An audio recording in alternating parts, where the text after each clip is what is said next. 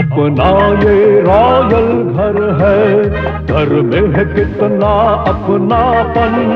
अपना ये रॉयल घर है। घर में है कितना अपनापन। पर उल्टा पुल्टा हो जाता है। जब आती है पड़ोसन। पड़ोसन पड़ोसन पड़ोसन। पड़ोसन।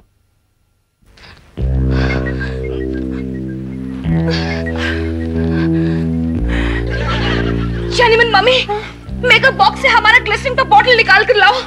हमारा रोने को जी कर रहा है। अयो बेबी रोए तुम्हारे दोस्त। लेकिन बेबी तुम्हारा रोने को जी क्यों करता जी?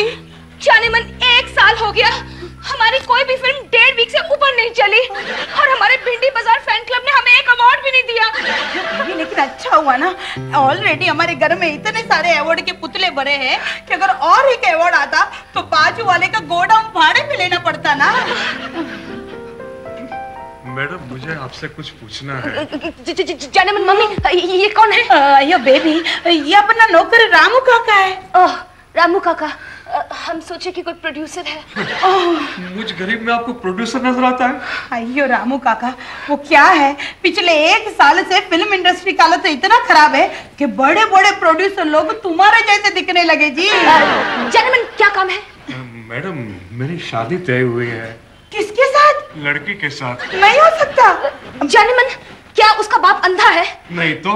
तो फिर लड़की को उठाकर तुम जैसे टकले के पल्ले क्यों बाँध रहा है? नहीं क्या है मैडम कि मेरा ससुर है ना वो दूसरी शादी करना चाहता है। जब तक अपनी बेटी की शादी नहीं हुई तब तक वो नहीं कर सकता ना। शनिमन तो तुम क्या चाहते हो? कि हम शादी में पंडित की जगह बैठकर मंत्र पढ़े? नहीं नहीं नहीं मैडम हम उतना ही चाहते हैं कि आप मेरी तनख्वाह बढ़ा दें। तनख्वाह?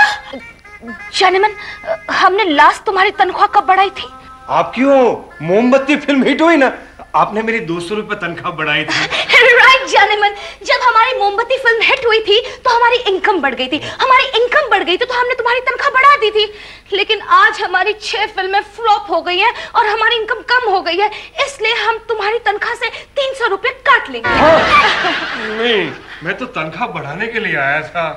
जानेमन तुम क्रिकेट देखते हो? कभी कभी हाँ जानेमन उसमें हर बैट्समैन यही सोचकर आता है कि वो सेंचुरी मारेगा। लेकिन कभी कभार वो ज़ीरो में ही आउट हो जाता है। समझ गया।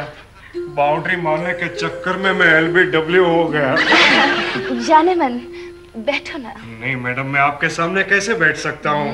बैठो बैठो। नहीं। बैठो ना। नहीं। मम्मी से पटक कर बिठाओ। आप कष्ट ना करें। आपके हाथ इतने मज़बूत है बैठाने के चक्कर में आप मुझे सुला दोगी। अ, वो क्या है कि जानेमन हम तुम्हारी एडवाइस लेना चाहते हैं। जानेमन मम्मी इसे क्या हो गया? अयो बेबी वो क्या है? तुमने उसके पास से एडवाइस मांगा ना वो खुशी से ये बेहोश हो गया जी। लेकिन उसे होश में लाने के लिए क्या किया जाए?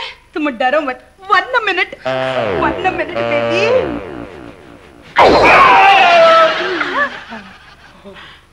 madam advice तो क्या? मेरी जान भी आपके कदमों में निछावर कर दूँ। जानेमन इन फालतू चीज़ों में हमें कोई इंटरेस्ट नहीं है। दरअसल जानेमन तुम तो जानते हो कि हमारी फ़िल्म इंडस्ट्री जरा ठंडी जा रही है। बर्फ़ की तरह। और हमारी एक्टिंग की दुकान भी कुछ वैसी ही जा रही है। हाँ मैडम। दो तीन एनआरआई डॉक्टर वो कोई बिजनेसमैन का फ़ोन आया था। कह रहे थे अगर आपकी मैडम शादी करना चाहती है तो हम तैयार हैं। क्या कहा? हाँ हर फ्लॉप हीरोइन की आखिरी मंजिल अमेरिका के डॉक्टर या अफ्रीका के बिजनेसमैन का घर ही होता है ना? डरो मत जानेमन हम किसी एनआरआई के साथ अपना घर नहीं बसाएँगे। हम अपनी एक्टिंग की दुकान बंद होने से पहले ही कोई नया बिज़नेस शुरू करेंगे। हाँ मैडम। बिज़नेस तो शुरू करना ही चाहिए। जानेमन तुम्हारे ध्यान में कोई लाइन है? हाँ। क्यों आपके नाम से पूरे शहर में पान की दुकान की चेन शुरू कर दें? चाहते हो कि लोग पान खाकर हमारे नाम के सामने थूके नहीं मैडम। आप ऐसा कीजिए। दूसरे कलाकारों की तरह आप भी कपड़े का बिज़नेस शुरू कर दीजिए। रामू काका वो पॉसिबल नहीं है जी। हमारा बेबी ने फ़िल्म में इतने कम कम कपड़े पहने हैं कि अगर हम कपड़े का दुकान खोलेगा तो लोग हम पे हंसेगा जी। तो मैडम एक ही रास्ता है। क्या? आप होटल का बिज़नेस शुरू कर दो। होटल ब्रिलियंट बेबी ब्रिलियंट जब तक वर्ल्ड रहेगा तब तक लोग रहेंगे। जब तक लोग रहेंगे उनको भूख लगेगी। और होटल चौबीसों घंटे चलेगा बेबी जाने मन मम्मी। इस पर सोचा जा सकता है। वाह शुक्रिया वाह वाह शुक्रिया शुक्रिया।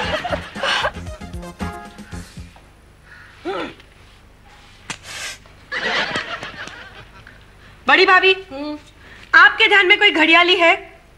घड़ियाली तेरा मतलब घड़ी का काम करने वाला? घड़ियाली घड़ी का काम नहीं करेगा तो क्या हेलीकॉप्टर के पंखे क्लीन करेगा? ऐसा कुछ नहीं है। देख वॉच यानी घड़ी। घड़ी का काम करने वाला हुआ वॉचमैन मेरी समझ में ये नहीं आता सारे वॉचमैन चौकीदारी क्यों करते हैं? अरे वाह भाभी वाह। आप भी मेरे साथ रह के सीख गई। भाभी आप मेरे साथ ही रहना देखना आप इतना आगे बढ़ेगी इतना आगे बढ़ेगी कि मंजिल भी पीछे रह जाएगी। अरे क्या हो रहा है? घड़ियाली की तलाश चल रही है। क्यों? ये घड़ी रिपेयर करवानी है। क्या हुआ? पता नहीं रोज 12 बजे इसका एक कांटा कहीं गुम हो जाता है। क्या बात कर रही हो? वाह भाभी जी आप भी रंगा खुश फ़िल्म के जोगिंदर की तरह ओवर रिएक्ट कर रही हो। अरे 12 बजे दोनों कांटे एक दूसरे से मिल जाते हैं इसलिए एक कांटा दिखाई नहीं देता। बस हाँ। इतनी सी बात है। देखा? अरे एक्सरसाइज करो एक्सरसाइज चर्बी दिमाग पे चढ़ गई है। इतनी छोटी सी बात भी आपके समझ में नहीं आती। अरे तुझे दूसरा कांटा दिखाई नहीं देता तो मुझे क्यों डांट रही है? भाभी भाभी भाभी भाभी भैया किधर है? कहीं नहीं। बेडरूम में बैठकर प्यास के बढ़ते हुए भाव पर आँसू बहा रहे वाह क्या जमाना आया है।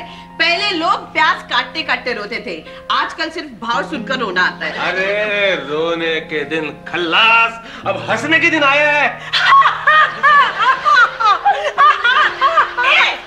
तुझे क्या हुआ? कुछ नहीं अभी इन्होंने कहा ना हंसने के दिन शुरू। इसलिए हंस रही हूँ। अरे उसको बोल बाहर आए। सुने तो सही क्या खबर लाया है? बेटे अजय बाहर आना तो। क्या है? क्या है? किसने मुझे बुलाया? बुलाया तो नहीं बुलाने वाले थे। अरे फिर मुझे ऐसा क्यों लगा किसी ने मुझे आवाज़ दी? वो तो मैंने बुलाया था। अच्छा तो अब तुम लोग मुझे बुलाने भी लगे। भैया हाँ, एक खुशखबरी है। क्या खुशखबरी? है प्रिया नटराजन? प्रिया नटराजन क्या क्या? सुनो। प्रिया नटराजन होटल खोल रही है। ओह अरे लेकिन विजू हमारे पास तो रहने के लिए इतना बड़ा घर है। हम होटल में रह के क्या करेंगे? रहने का होटल नहीं भैया खाने पीने का होटल। ये फ़िल्म वाले कोई धंधा बाकी नहीं छोड़ेंगे। हाँ। एक होटल वाला सुनील शेट्टी फ़िल्म स्टार क्या बन गया? सब फ़िल्म वाले होटल वालों के पेट पे लात मारने निकल पड़ेंगे लेकिन विजू प्रिया नटराजन खाने पीने का होटल खोल रही है। उसमें हमें खुश होने की क्या बात है? भैया आप भूल रहे हैं, आप कैटरिंग का काम करते हैं। और प्रिया नटराजन खुद तो खाना नहीं बनाएगी ना? तुम्हारा मतलब मेरे पति वहाँ पर बावर्ची बनेंगे? अरे नहीं नहीं नहीं नहीं, नहीं भाभी जी हम लोग पार्टनरशिप करेंगे। उसका पैसा हमारी मेहनत। विजू मैं अभी आया। ए, रुको रुको कहाँ जा रहे हो? अब मेरे पहले कोई और कैटर वहाँ पहुँचे मैं पहुँच जाता हूँ ना? तुम बहुत भोले हो। लेन देन की बातें मैं करूँगी। चलो। ओह चलो। चलो चलकर तमाशा देखते हैं। हटो। मैं भी वहाँ जाके दो दिन बेवकूफ़ी की बातें करती हूँ। हटो। मैं यहाँ क्या कर रहा हूँ? हट। कोलगेट पड़ोसन की पसंद।